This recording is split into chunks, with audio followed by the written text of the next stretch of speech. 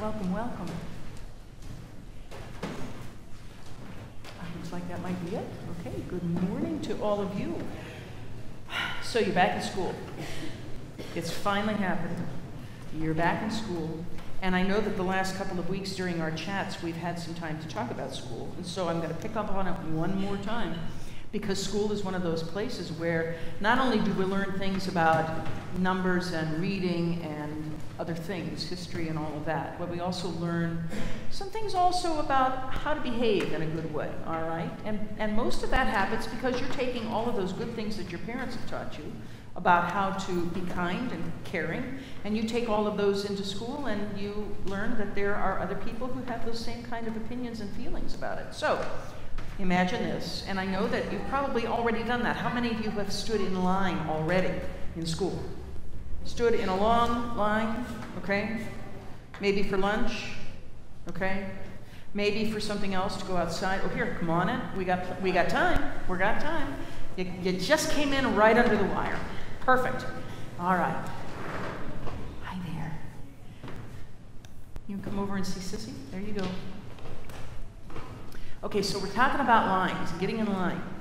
When somebody says, whether it's the teacher or somebody out in the playground says, it's time to do something and you have to get in the line, be honest, tell me the truth, okay? How many of you push and shove to get to the front of the line? Be honest. Oh, no, no. okay. Do you do that? Okay. Well, sometimes you do. Yeah. Okay. Well, let's be let's be real truthful about it. Because if we know there's something really good in the front of the line, and we want to get to it first, we do that, don't we? Yeah. Because we're eager and we're excited and we want to see what's going on. Well, unfortunately, there's got to be somebody who has to be in the middle and in the, in the back of the line, right? Absolutely. So, Jesus says that if we're pushing into to the front of the line to get something first before someone else, or to make sure that we get what belongs to us, then that maybe that's not such a great idea. Okay? Yeah, that's right.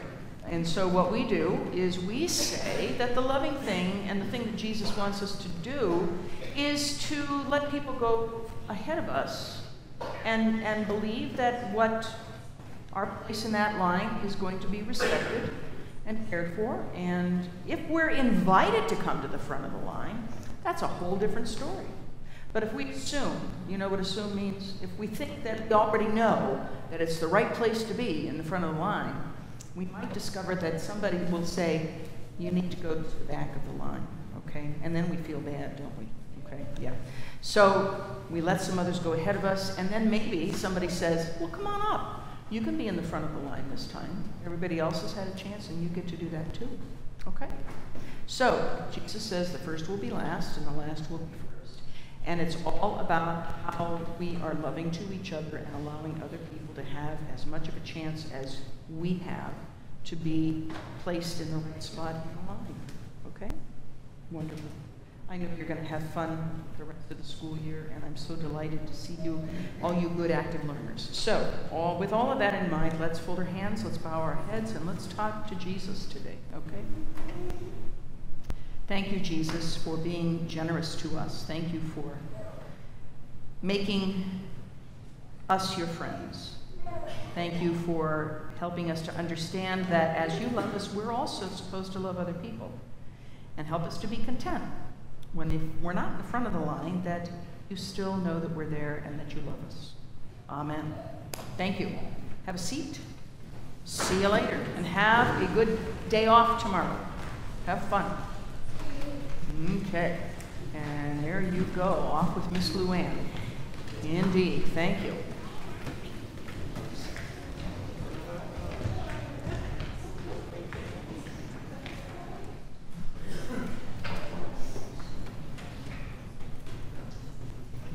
Grace, mercy, and peace be to you from God our Father and our Lord and risen Savior, Jesus Christ. Amen. Now, it is not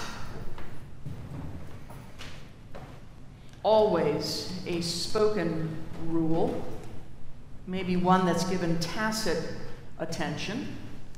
It certainly isn't always a documented rule. But there is, I, I think, within our social circles, a certain understanding that to give and to receive hospitality, in polite society, you sort of need to know and to be known. You get my drift? Familiarity, maybe, is a better word to use. Some familial or collegial connections that open doors easily for both the host and the guest. But what if you are in need of hospitality and you are a complete stranger? How do you plead your own case when you are in a vulnerable situation and in real need of an open door and access to safety? Now let's let that question sort of dangle while I tell you a personal story. Once upon a time, there were four friends, two couples. These friends had planned a bicycling tour of the California Coastal Highway. Now, this was a while back, okay, when Pastor Connie was much younger and more able to do those sorts of things. Pastor Tim as well. Two of the four, the husbands, had begun this adventure one week prior to meeting the other two, the wives, in San Francisco. And the husbands had already bicycled the length of the coastal highway from Astoria, Oregon, to a point just north of the Bay Area. Mark and Lisa were our friends, and we shared a passion for long distance cycling. To say that our itinerary was ambitious would be to grossly understate the case. Having picked up the men about 40 minutes north of San Francisco, we drove to a hotel near the Embarcadero we unloaded the bikes in the panniers and we settled in for a couple of days in San Francisco of sightseeing before we continued the journey, which was planned to take us over a course of a week's time from San Francisco to Los Angeles. That was our final destination. Now, I guess maybe the reason I'm thinking about this story is because all of this transpired during Labor Day weekend back in the day and it was Saturday of the Labor Day weekend. The plan was to drop off the rental car to take the BART. Any of you know about the BART? The Bay Area Regional Transit, which is the train all the way around the city. We were to take the BART south to Daly City and then ride for about 30 miles to the Half Moon Bay campground where we had reserved a tent camping site. And really, 30 miles is an easy distance for experienced cyclists, and we were experienced cyclists. And even a later checkout from the hotel, which is what we made arrangements for, a noon checkout, would still have placed us at our destination comfortably, comfortably at around 7 p.m. But our good friends wasted time. And there's really no nice way to say that other than just simply to say that, okay? And when you're traveling as a group, you are dependent upon everybody's timeliness. We were ready by noon. Noon became 1 o'clock. 1 o'clock became 1.45 when Mark and Lisa finally strolled leisurely back into the hotel lobby, having turned in the rental car. And so then we were off to the BART and Daly City on the bikes finally fighting Labor Day traffic, making a wrong turn after we had already breezed down a hill so that we had to ride back up the hill to correct the mistake. Miscue after miscue.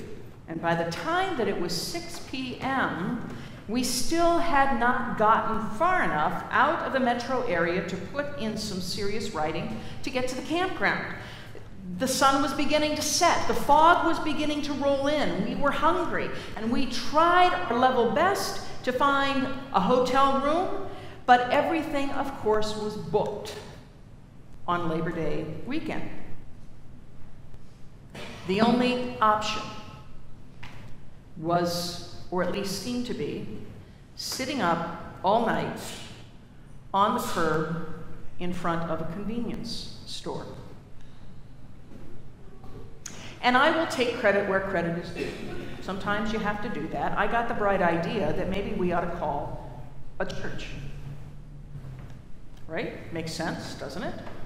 It's got to be a church somewhere within a quick ride that would give us shelter for the night. And so we went, and I know this is going to sound so antiquated, and I know some of you will understand exactly what I mean. We went to the payphone.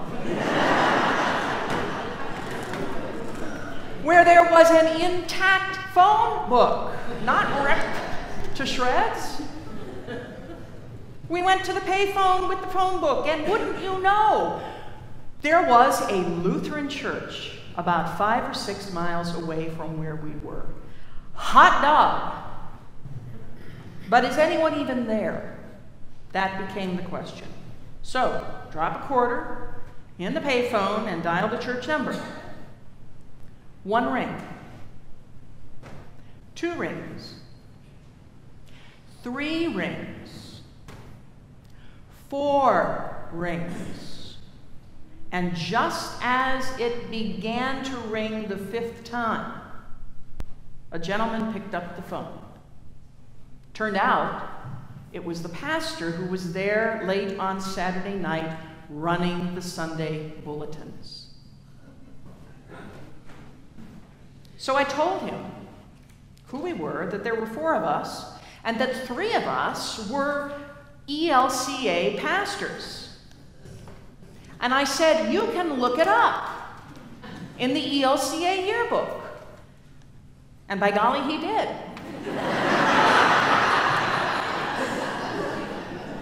he checked the veracity of our story after we had given him some facts to check against. And so then he gave us directions as to how to get to the church. And so we very quickly bought a couple of cans of something. I think it was Hormel chili. Threw them in the panniers, okay? I know you're all saying, ew, okay? But when you're hungry, anything goes, right? Okay.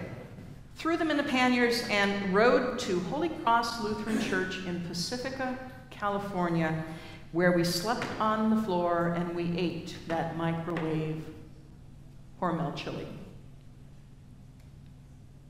We worshiped with God's people at Holy Cross the next day. And everyone, honestly, everyone was so incredibly kind to us. And before we left, they gathered around us in a circle and they prayed for us. And then they handed us batches of cookies and pastries to stuff in all of our belongings for just a little something for the journey. Now, we were strangers to these people. And yet we weren't. And that's maybe one of my points today. We were, but we weren't. We had information, of course, to back up our crazy story. And the whole episode has truly given me 20 plus years to reflect and to think about what, what might have happened to us had we no ability to assure the pastor that we were honest people with a legitimate need. The writer of Hebrews gives the early Christians guidelines about what it means to live into the call of the Holy Spirit. Do not neglect to show hospitality, the writer says, for by doing so, some have entertained angels without knowing it. Now, trust me, we did not look like angels. When we came to that church, we were tired and frustrated and sweaty, and yet they took us in. But we had this much in common with those who were our hosts. All of us were on a journey, a journey of faith. For Christians, the whole of life is a sojourn. There is nothing at all fixed or permanent for us in this world. Let that seep into your psyche for just a minute. Nothing fixed or permanent in this world. Our own generous hearts are always involved in a mutual give and share way of being in this life. As to the identity of the stranger in our midst, the fact is, we are all strangers and sojourners to somebody or to some community. While it may seem simplistic, it all really depends on who is the one who stands outside the threshold and who stands inside. Because we've all stood in both places. And it is entirely legitimate to reflect on both positions and recognize that there is a high degree of vulnerability, whether you're on the outside looking in or whether you're on the inside looking out. The one who stands at the door seeking a safe place and shelter is certainly vulnerable. So, too, the one who reflects upon the possibility of offering safety and shelter. So, there really is no way we can know about the unknown angels in our midst. They don't come with credentials. They aren't on the A list. They don't look like angels, as we have imagined angels to look. Their names are not written in the social register in some fashion to be confirmed in terms of their identity. More often than not, they come with a story of how they've arrived, where they're going, what got in the way of their personal travelogue. And there is vulnerability plenty of it in both the telling and in the hearing. The list of unknowns is infinitely larger than the few things that we do know, but what we do know may be compelling enough. We know that we are people of the cross. We are sealed by the Holy Spirit and marked with the cross of Christ forever. That makes baptism something much bigger than just simply something that we do here in church, a ritual action. It means that what we do and it means that what we say is always filtered through Christ's death and resurrection and through Christ's invitation to us to follow in his pathway. And in truth, death empties us of all that we believe ourselves to be as the world defines us. Resurrection is always the promise that death is not the end, but a beginning of these promises, we can be sure because Jesus Christ, the firstborn from the dead, is the evidence of that truth. Okay, so how does that all play in Peoria? Hardly a week goes by here at Advent, or any congregation, I might add, where someone does not stop and ask for some sort of help. And I have a decision to make. And so I have to sit with that decision and have to make the best call that I know how to make. Is this someone who really needs help? And you know, I have to tell you, in all honesty, even after I have made a decision, those decisions haunt me for days afterwards. Was I right? Did I do the right thing? Was my yes the right answer? Or should I have said no? Tough work. And if you've been in that situation, you know how tough it is. If we make these and other choices with a spirit of uneasiness, hear what I'm saying. If we make those choices in a spirit of uneasiness, if our decisions begin and end with this question, what if I was in that place and what if it was me? Then your uh, uneasiness as a follower of Jesus, ironically, is a blessing. If you are experiencing the squirm factor in those hard, hard decisions, bless your uneasiness, Dag Hammarskjöld says, because it is a sign that there is still life in you.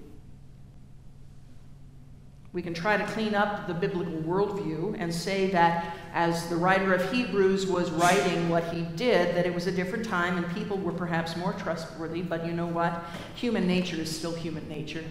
It is not time or culturally specific. And in the end, the essential message of the gospel is this that God, through Christ, took the risk to inhabit a broken world, did so among a broken people was himself broken because of human sin and human will, died, and then showed humankind that death wasn't the end, but the beginning of a new way of living. Is it risky? Oh, yes, you bet. Maybe the starting point for radical hospitality is not at all radical. Maybe we start by praying that God will grant us the courage to take small steps, first steps such as steps of generosity, small steps, compassion, finding ways to support and to assist in small ways, creating space in our hearts for the stranger rather than somehow clothing ourselves in a posture that assumes the absolute worst. You see, radical hospitality is really not radical, it's the gospel. It's rooted in love. Love that we have first received so that then we can give love. And the only person you really need to know to give love and to receive it is Jesus Christ.